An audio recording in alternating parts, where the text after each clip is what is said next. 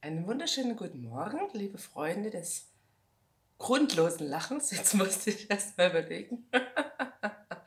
aus Biberach heute oder aus dem Hotel in Worthausen bei Biberach. Und ich wollte mich noch kurz melden. Heute ist Tag 9 meiner Challenge 40 Tage alleine lachen. Also ein Viertel habe ich fast geschafft.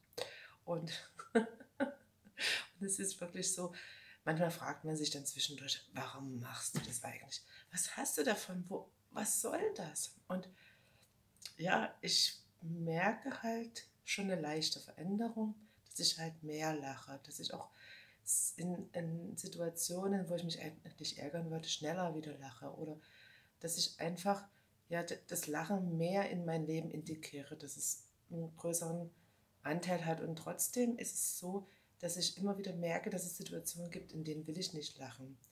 Wenn mein Enkelkind äh, weint, da ist mir nicht zum Lachen. Oder wenn jemand anders traurig ist oder mir was erzählt, was ihn sehr berührt und mich auch dadurch berührt, da will ich nicht lachen. Also es gibt wirklich Situationen, da lache ich dann auch nicht. Also dann, dann äh, aber dafür lebe ich mir, nehme ich mir an andere, äh, in anderen Situationen dann wieder Zeit, und entscheide mich bewusst, ja, jetzt will ich lachen und jetzt will ich wieder was für mich und mein Mindset und mein, mein Körper tun, denn Lachen tut uns ja einfach gut und äh, ist ja gesund und äh, äh, holt unsere Selbstheilungskräfte wieder hervor und schafft einfach auch andere Gedanken, habe ich das Gefühl, beziehungsweise ich muss es noch anders formulieren, ich denke nicht mehr so viel nach, sondern es manches ja, manche Gedanken, manche Gedankenschleifen sind einfach weg. Ja.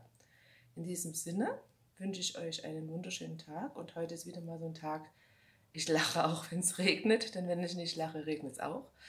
Also von der Seite her, also jedenfalls hier bei uns. Lacht's gut. Tut euch was Gutes mit eurem Lachen. Und auf Wiederlachen. Bis morgen.